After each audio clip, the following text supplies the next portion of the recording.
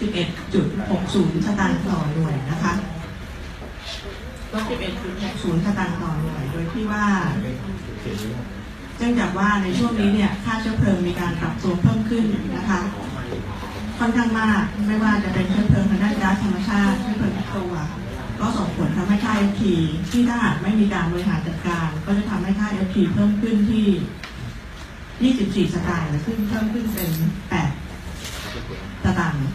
8.10 สตางค์ต่อหน่วย เดี๋ยวขออนุญาตไปใช้ที่นี่เลยนะคะ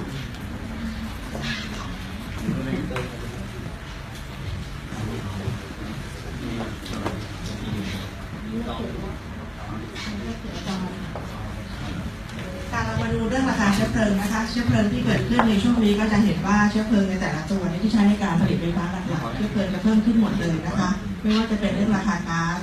น้ำมันเตานะคะ น้ำมันดีเซลหรือว่าเชื้อเพลิงถ่านหิน ส่วนนี้ก็จะเป็นราคาที่เพิ่มขึ้นโดยตลอด เพราะนั้นจะเห็นได้ว่าผลกระทบ ครั้งนี้ก็ผลกระทบหลักจากการที่ราคาเชื้อเพลิงที่ใช้ในการผลิตไฟฟ้าเพิ่มสูงขึ้นนะคะ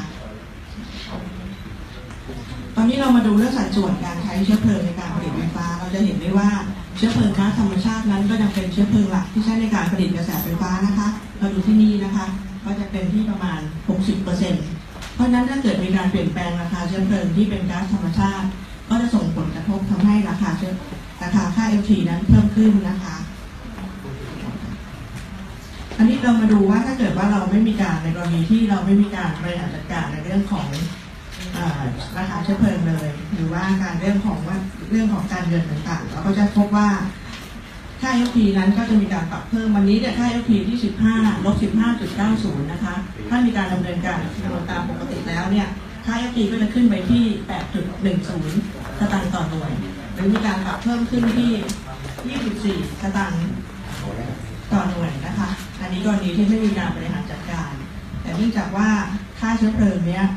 ค่า FT นี้เป็นต้นทุนหลักในการที่ผลิตทางด้านภาคเศรษฐกิจหรือทางด้านภาคธุรกิจ รวมถึงมีผลกระทบต่อประชาชนผู้ใช้พลังงานทั่วไปด้วยทางด้านกรรมการกำกับกิจการพลังงานจึงได้ให้มีการบริหารจัดการนะคะ เพื่อลดผลกระทบที่จะเกิดขึ้นกับประชาชน แล้วก็ภาคธุรกิจแล้วก็ภาคอุตสาหกรรมต่างๆนะคะ